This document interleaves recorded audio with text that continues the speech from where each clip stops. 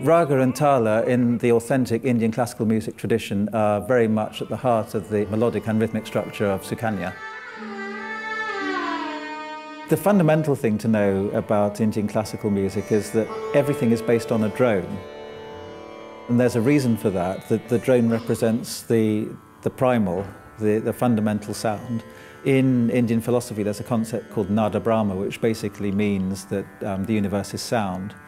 Uh, everything is connected through sound, but um, after all, every, everything in the universe is vibrating, so that's a, a really good metaphor for that. Uh, and that's the reason why the, the fundamental sound is always present there in a recital. If you have a fundamental sound, that sound itself is built up of um, notes in the harmonic series. There's, there's a relationship there. So if you play a continuous tone on, on any instrument, um, there will be the fundamental, there'll be the fifth, which are five notes above that fundamental, very quietly in the background. Um, and then it goes on the third, um, seventh, and so on, all the way up through the harmonic series. So actually, when you play this fundamental sound, you're encompassing virtually everything because there's this mathematical relationship within that sound. So from that fundamental sound, then the raga is derived. And the raga is a, is a collection of notes somewhere between a scale and a melody. So it's, it's not a scale, it's not a melody, it's like a, a, a mixture of the two. So there's, there's a lot of flexibility in that. It, it's a choice of notes from the harmonic series, from that fundamental oneness, if you like. If, if you take la, la, la, la, la, la, a sequence of notes like that, that's a raga known as Raga of the Flying Swan. And that's a, that's a very sort of open, open feeling it has to it, and it kind of communicates that sort of openness and expression, flowingness, la la la la la la la la la la la la in the sound. You can, you can, you can see that, that flying swan and feel that kind of open, open feeling. And that's simply because of that selection of notes over a period of, of hundreds, thousands of years um, have, have been shown to communicate that emotion from one person to another. But it all comes from that, the primal, primal source. That, that's taught from generation to generation, uh, teacher to pupil, and through the, um, the handing down and the trying out, if you like, of, of, of these different raga forms, it's been a process of continual, really, refinement down the generations. The other important concept is tala, which is the rhythmic cycle. And when you combine the tala with the raga, you then have a really firm, solid structure for the most free-flowing improvisation. Uh, if we take the most common tala, that's known as tintal, which is a 16-beat cycle.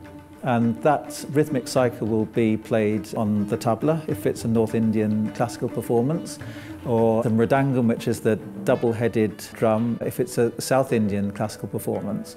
The two, um, North and South, are, are different, actually, different approaches, but they have a lot in common, but there are clear differences as well.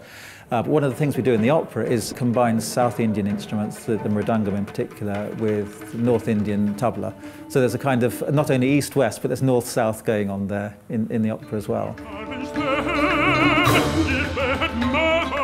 If, if you have 16 beats, so uh, the tabla will play da din din da da din din da da tin tin na da din din da then da din din da. Again, that gives you the 16 beats. And above that, you will have um, all sorts of rhythmic uh, extemporization going on, but the, the 16 beat will always be there. And a, a, key thing people could listen for perhaps in the opera is the concept of the tihai, which comes as a, uh, if you like, a musical punctuation. It's something that's used in Indian classical recitals a, a lot to give not only the performers but the audience the, the sense of the music structure. So in Western uh, music of the 18th century, we'd have a cadence, a plagal or perfect cadence or something at the end of the section. In Indian classical music, you'll have very often the tihai. And that's something that goes over the rhythmic cycle. So an example would be if I were to say tete kata, tete kata kata da, that, that's, that's a good one to demonstrate for people. So if I say that three times over a 16 beat cycle, so the 16 beat cycles may be going da, din, din, da, da din din da da tin tin na da din din then tete kata tete kata kata geni da tete kata tete kata kata geni da tete kata tete kata kata genida. and there you are on the, on the first beat So that's an example of how the rhythm, it, you, you, play with it over the basic cycle. It's fantastic fun, not only for the uh, performers, but also for the audience, because when a performer in an improvised performance begins the tihai, if it's a very complicated one, the audience aren't sure if they're actually going to get to the end and get to that downbeat bang on target. So it's like watching somebody landing a plane in difficult conditions and, and not knowing whether they're going to actually hit the runway at the right time. So it can be really exciting and really sort of virtuosic for the audience and for the performers themselves.